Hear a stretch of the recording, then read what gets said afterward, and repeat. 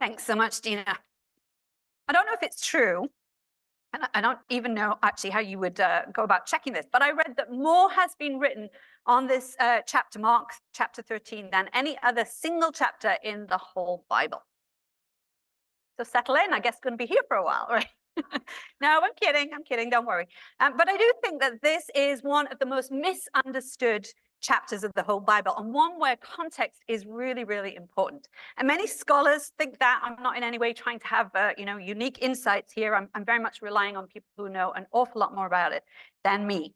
But we are going to spend uh, some time this morning looking at both the historical context, the context uh, in which Jesus said these words, as well as the context in which um, Mark's readers would be reading these words several decades later, and also the literary context, the context of the narrative itself and how that links to uh, the Jewish scriptures that predate it.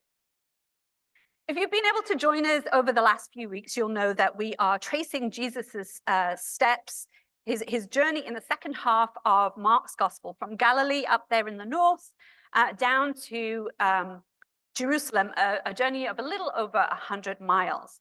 And last week, Jesus finally made it to Jerusalem, the capital city, the, the seat of political and religious power.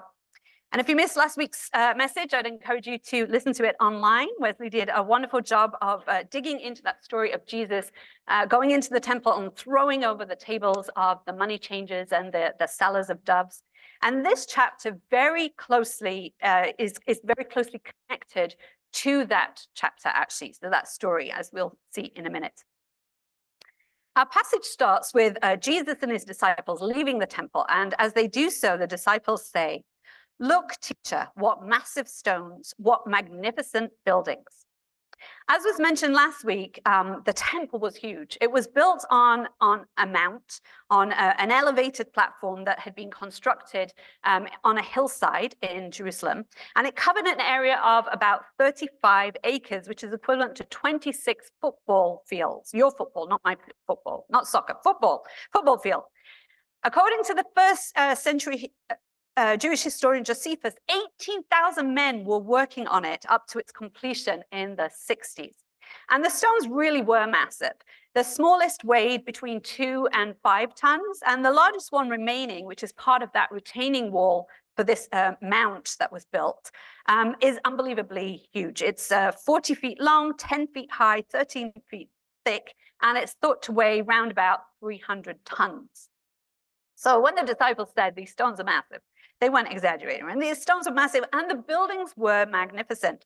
And through the miracle of technology, we can see that for ourselves in this brief CGI clip. It's going to take us, it's just a, a very brief clip, it's going to take us a tour of the temple.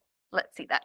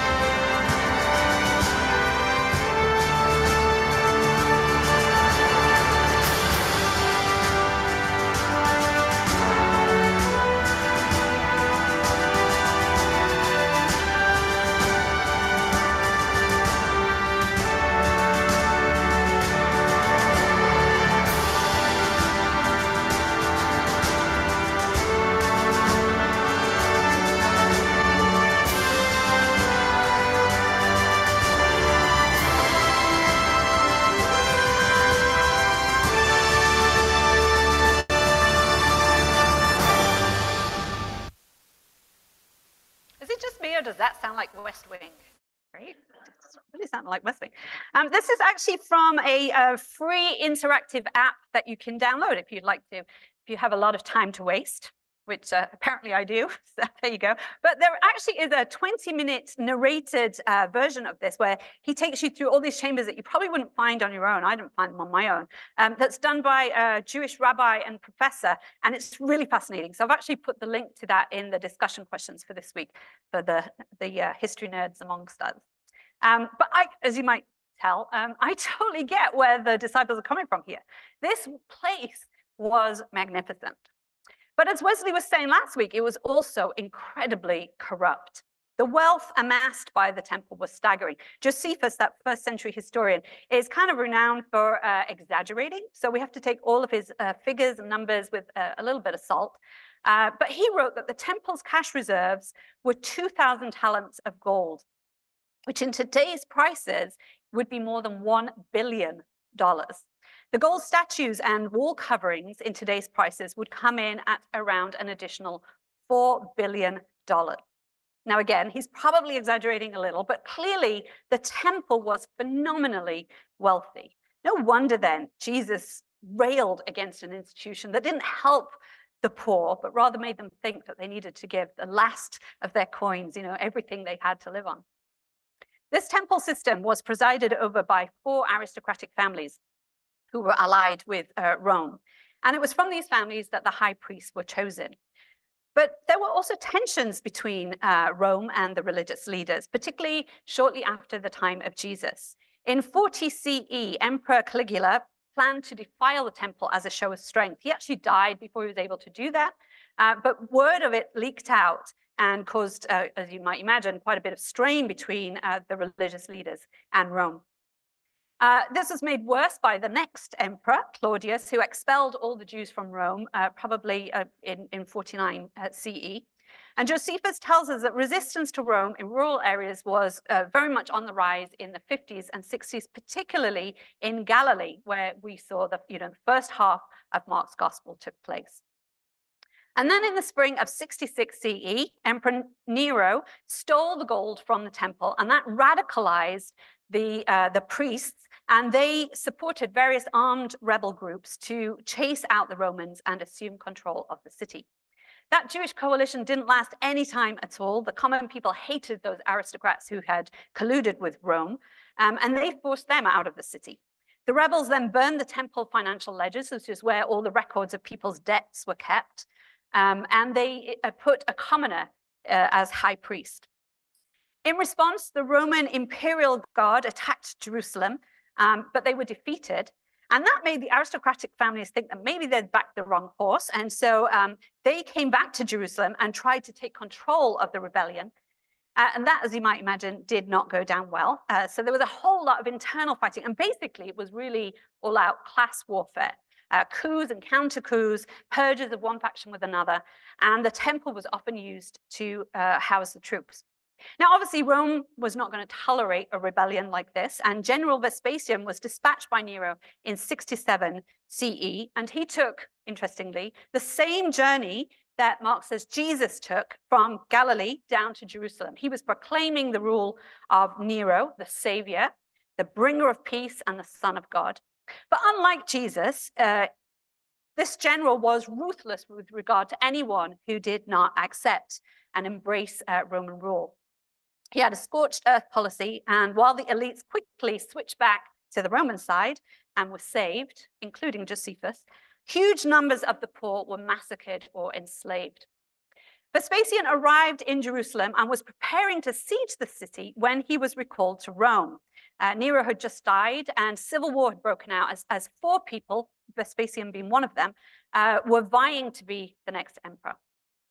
Just want you to imagine for a moment what that must have been like for the Jewish people. You've had this brutal dictator marching through the city, arrive uh, through the country, arrives at the city gates, and is all set. You must have thought, that's it, we're done. We're going to be massacred. We're going to be, you know, that's it, it's over. And suddenly, the Romans are gone. And in fact, they wouldn't come back for almost a year and a half that must have seemed like an act of God. You know, Yahweh had come to the aid of his people. This tiny, weak nation had actually chased off the imperial forces of Rome. And they knew that those forces would be back, but now maybe if they all stood together, if Jews everywhere stepped up to fight, How could they possibly lose this holy war of independence? According to Josephus, a lot of different people claim to be the Messiah during this time. And you can imagine that, right? You know, I'm the one who's sent by God to lead this holy liberation movement. Meanwhile, back in Rome, Vespasian beat out uh, his rivals to become emperor and sent his adopted son Titus to finish the job in Jerusalem. Titus mounted a seven month siege of the city, uh, and that led to mass starvation. There are some really horrific stories that uh, Josephus tells about that time. And after several unsuccessful attempts to storm the temple where the troops were holed up, uh, the Romans simply burnt it to the ground in 70 CE, and they looted the temple and the city. And Josephus reports that 97,000 people were taken captive from the city, and 1.1 million people starved or were killed by the sword. Now, again, it's probably an exaggeration, but unquestionably, these were devastating losses for the Jewish people. As we've said in previous weeks, we don't know exactly when Mark's gospel was written, but it's probably in the mid to late 60s, time of incredible unrest, when either Israel was about to or was actually in the midst of an armed uprising against the Roman Empire. If you think we live in politically polarized society, imagine being a Christian in the 60s Mark's readers seem to have been a mix of Jews and Gentiles. Now, Jewish uh, Christians had been expelled from the synagogues by this time. They'd experienced some persecution, so they wouldn't have particularly felt warm feelings for the Jewish leaders, religious leaders. Um, but at the same time, isn't this what they've been waiting for? This Jewish uprising, this throwing off the yoke of Roman oppression. Isn't this what the Messiah was meant to bring? Surely they should sign up. And what about the allegiances of the Gentile Christians? Were some of them Roman soldiers, uh, Roman citizens? We don't know, but chances are, a good chance. Certainly, this was a very politically sensitive time, a very emotional time to be talking about Jesus criticizing the temple. So, this is some of the historical context for this chapter, the context for Jesus' words, as well as how it, it would have uh, been heard by Mark's audience. Let's look now at the literary context. Where does this chapter fit in with the story that? Well, it comes at the end of a group of stories. Yeah, there we go. Uh, set in and around the temple. Now, we didn't have time to cover all of these last week, uh, but this is the flow in Mark. So Jesus is headed for the temple. He's hungry. He goes up to a fig tree that looks great from a distance um, is covered with beautiful leaves. But close up, you can see there's no fruit at all, and Jesus curses it. Then he goes into the temple and chases out the money changers, sellers of doves, the people carrying uh, merchandise. He stops them carrying it through the temple. Basically, he interrupts the business of this wealthy and powerful institution. And then he teaches the people that the temple is supposed to be a place of prayer for all nations. The next day, the fig tree that Jesus cursed seems to be dead from the roots up well, it is dead from the roots up.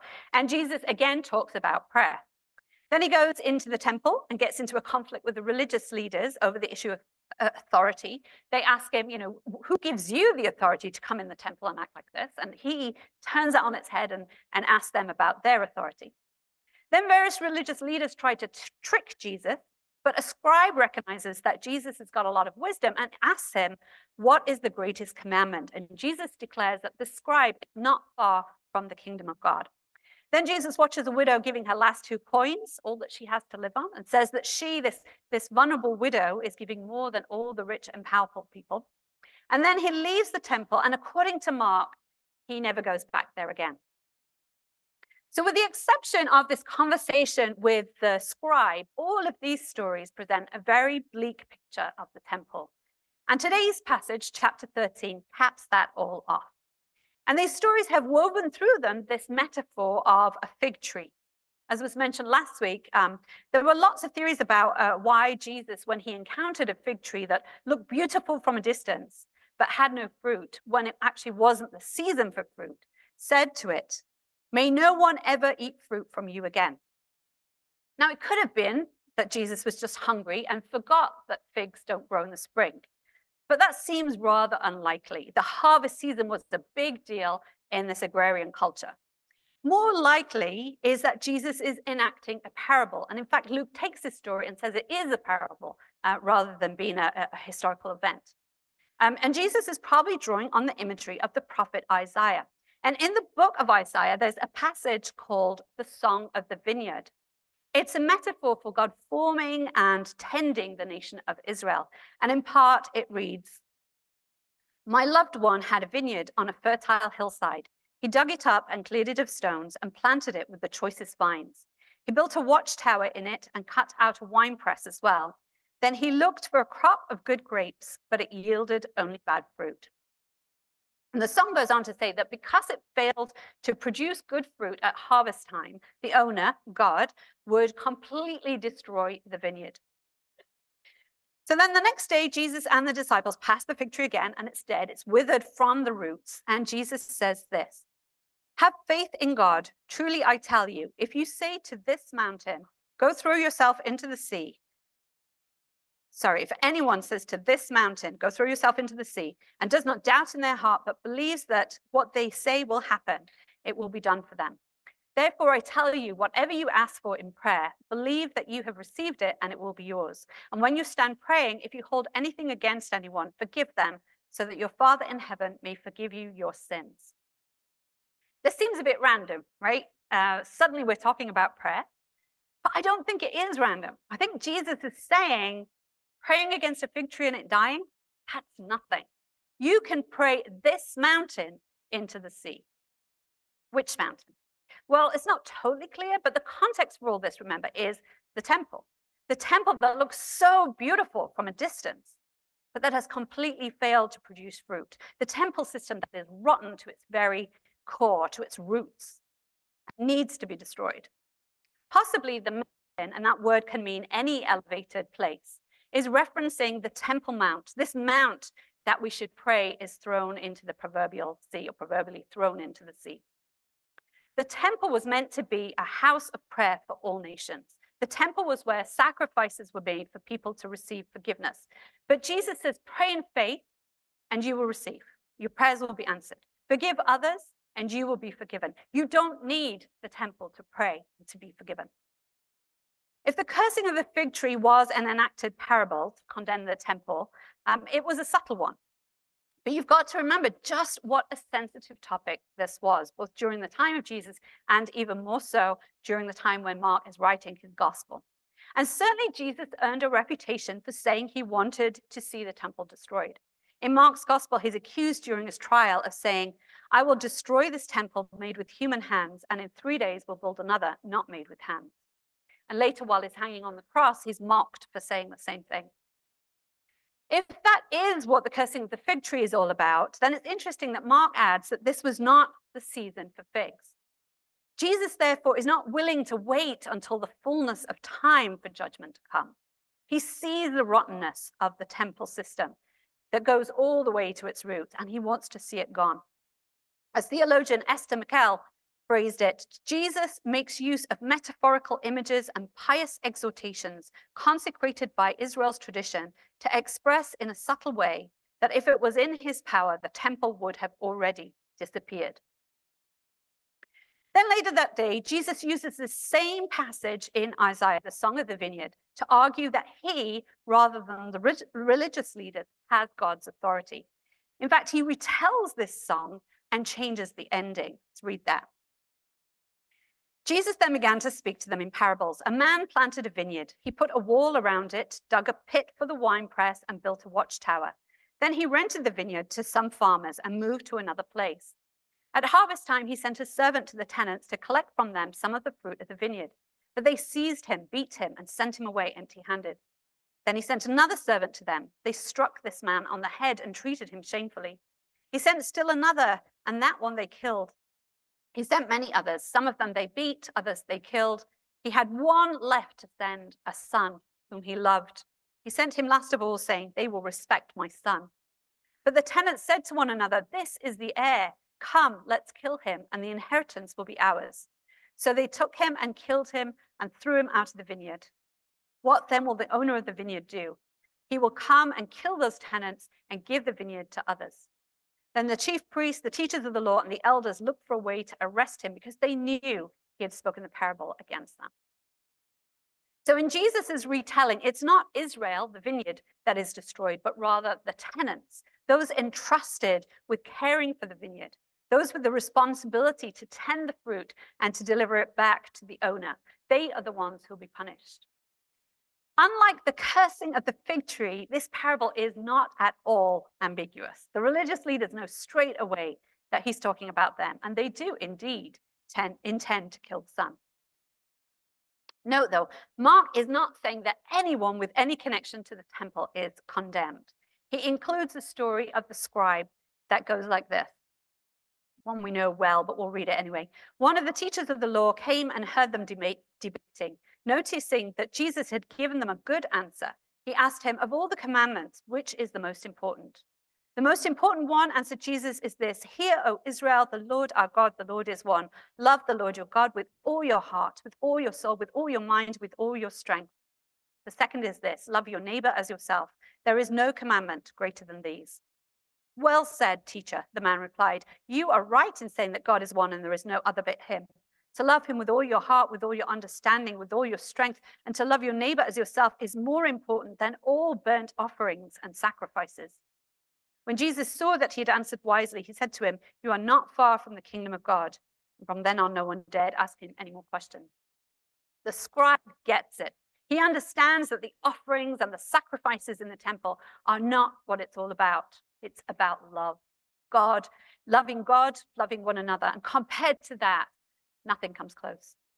So Jesus leaves the temple for the very last time. And what do the disciples say? Look, teacher, what massive stones, what magnificent buildings. They didn't have emojis back then, but if they had, yeah, I think that would have been one. Jesus responds, Do you see all these great buildings? Not one stone here will be left on another, every one will be thrown down. As Jesus was sitting on the Mount of Olives opposite the temple, Peter, James, John, and Andrew asked him privately, Tell us when will these things happen and what will be the sign that they are about to be fulfilled? Now, the temple that was around in the time of Jesus was the second temple. The first one, built by Solomon, was destroyed by the Babylonians in 586 BCE. And at that time, the prophet Ezekiel had a vision of God's Spirit leaving the temple and moving over to the Mount of Olives and resting there. And that scriptural Im- imagery seems to be repeated here. Jesus has moved out of the temple, he's gone to the Mount of Olives, and is sat down. The presence of God has left the temple. And then the disciples ask him privately, where it's safe to talk about sensitive issues like destruction of the temple, when is this going to happen? And what will the sign be? Now, note, they're not asking him, not asking him, when will you have died, been resurrected, ascended into heaven, and then come back again a second time in glory? That's how this uh, passage is often read out of context. But it is very evident in this context that what they're asking about is this magnificent temple. When will it be destroyed? This is not idle speculation about something that may or may not happen way in the future. It's, it's an immediate question of what will happen to us and how will we know what to do?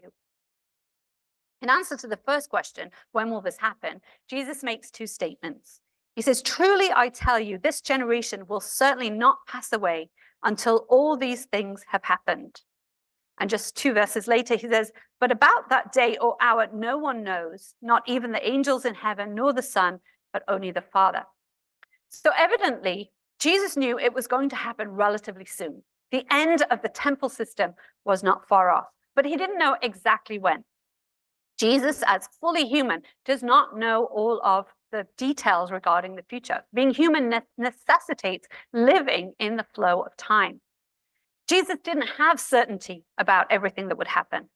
And yet, he was committed to the way of love, wherever that might lead, even all the way to the cross.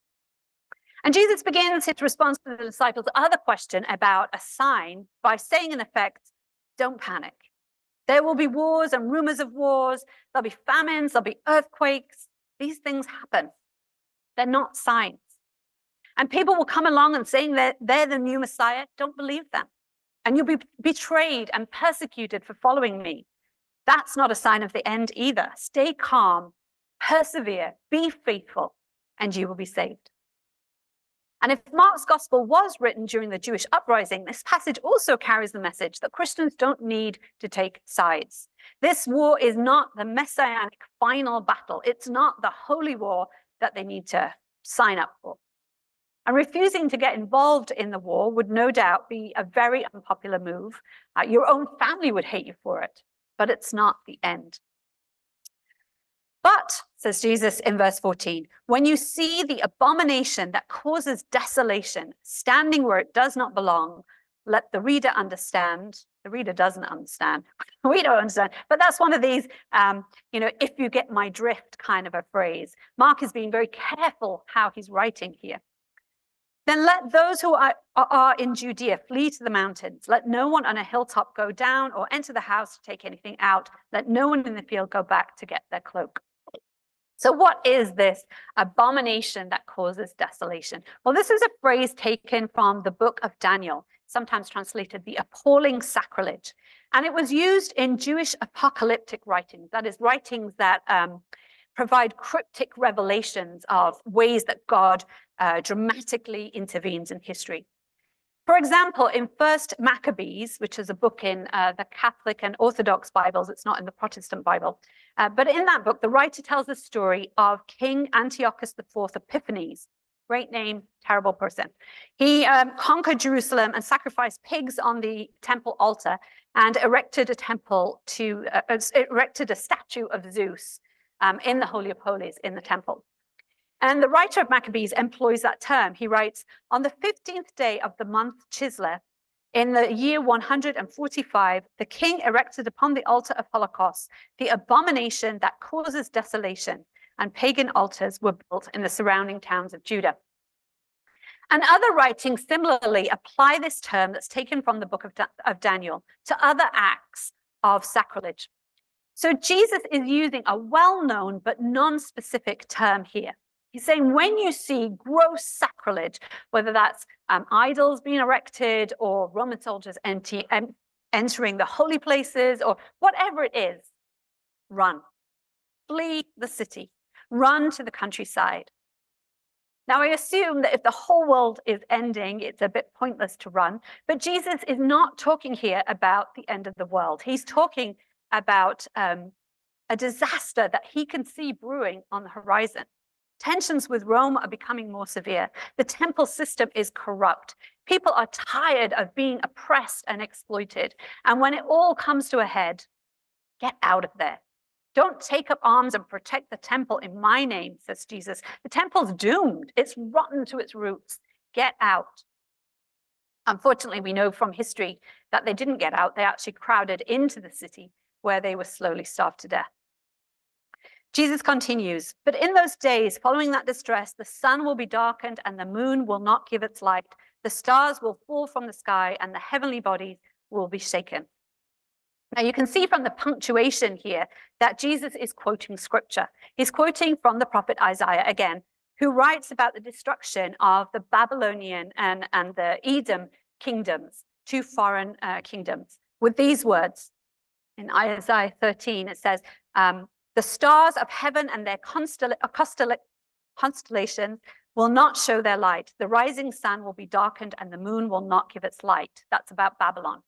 And then about Edom, the destruction of Edom, he writes, all the stars in the skies will be dissolved and the heavens rolled up like a scroll. All the starry host will fall like withered leaves from the vine, like shriveled figs from the fig tree. So Jesus is saying this coming destruction of the temple is what happens to corrupt and oppressive powers that stand against God. It's exactly what happened to the, to, to the kingdom of Babylon and to the kingdom of Edom. Ultimately, unjust systems will fall. God will bring them to an end. Jesus goes on. At that time, they will see the Son of Man coming in clouds with great power and glory, and he will send his angels and gather his elect from the four winds, from the ends of the earth and of the heavens. Okay, well, this is definitely about Jesus coming back at the end of time, right? I don't think so, personally. I know some people interpret it that way and write whole series of books on it. Um, but the context here is the destruction of the temple. We're talking about events that, according to Jesus in this passage, would take place within the lifetime of that generation 2,000 years ago.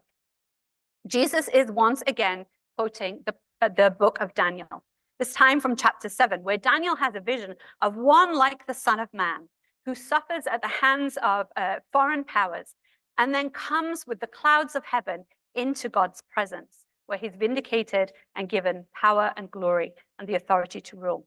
There is no mention in Daniel of the Son of Man coming down from heaven, but rather going into God's presence to be vindicated. The temple, the place of religious power, will be destroyed, and Jesus' way of self sacrificial love, love for God and love for neighbor, will be vindicated. And what's the sign? Well, it's the fig tree. One fig tree had been cursed and is now dead from the roots up, but there's another fig tree putting forth growth, another temple that will be built without hands. Learn the lesson of the fig tree.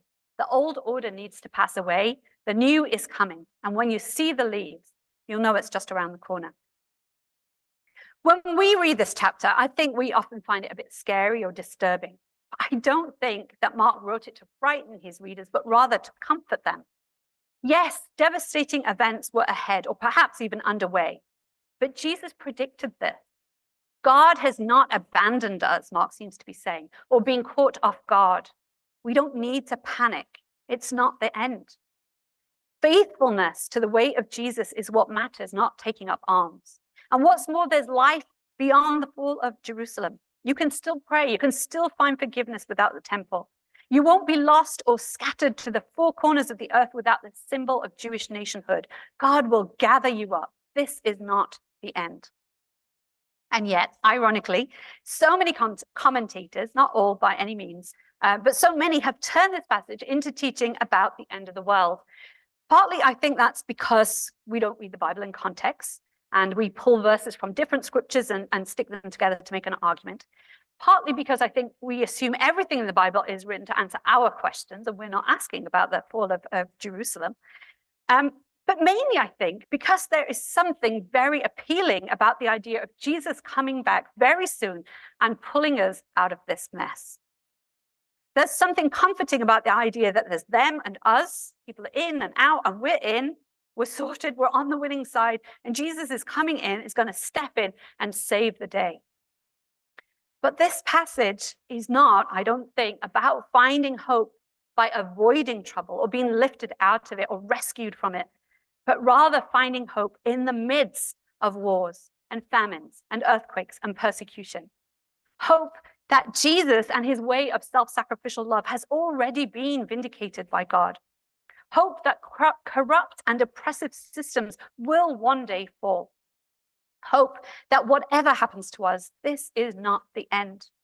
Hope that even when the world is scary, even when our temples fall, even when our sense of identity and significance is burnt to the ground, even when those we love turn against us, Jesus' words are still as true today and as relevant as they were 2,000 years ago. As Jesus puts it, heaven and earth will pass away, but my words will never pass away. John May, uh, a Jesuit priest and professor of English, studied the concept of apocalypse in American films and literature, and he concluded mature faith accepts the enduring struggle that historical existence entails. I like that. Mature faith accepts the enduring struggle that historical existence entails. Just like Jesus, we don't get to see how everything is going to get played out, but we're still asked to continue in the way of love. Jesus doesn't promise here a sudden and easy victory, but he tells us that we won't face anything alone. The Holy Spirit will be with us, empowering us, comforting us, helping us to know how to respond. The world didn't literally end in 70 CE, but for many people it did. And I don't just mean those who, who starved or were killed, but for many people, the loss of the temple, the fall of Jerusalem was absolutely devastating. But there have been so very many devastating events since then. In effect, the world ends over and over. On a global level, injustice and oppression prevail, at least for now. On a more personal level, people we love die, dreams are crushed, whether or not at some point in the future there will be an ultimate cataclysmic event that brings all of human history to an end, I don't know. But all kinds of things happen in this generation that for some people feel like the end of the world. But if the world ends over and over, so too Christ comes over and over with words of hope that never pass away, with a message that this is not the end, with the assurance that oppressive systems will be destroyed and the way of love has already been vindicated, with the promise that we're not alone and that we will be gathered up from whatever distant place life drives us to. We're going to take communion now if the band would like to come back up.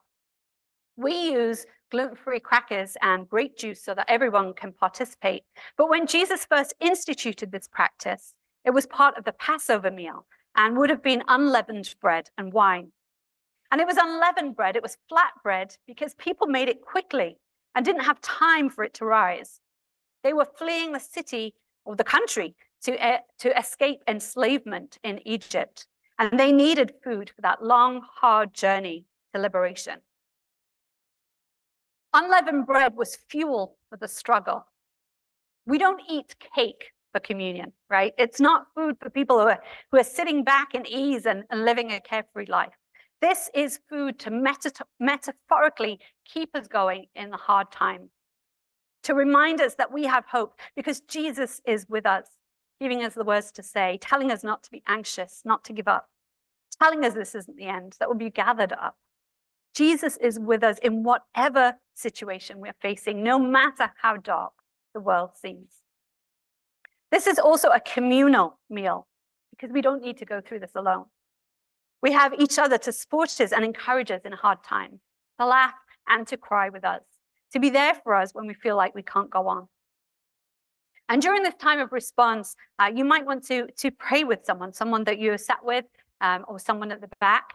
Um, please, please come and, and, we'd love to pray with you. Or feel free to write out a prayer and you can put it in the frames or pray for you during the week. Um, and there are other ways to respond. You might like to light a candle uh, at the station at the back or um, in the back uh, right, my right corner, uh, our station of lament or the justice, uh, racial justice stations here at the front. Um, all kinds of ways to respond, and they're, they're listed on the front page of your flyer if you're unfamiliar with them. But first, uh, let's take a moment to pray.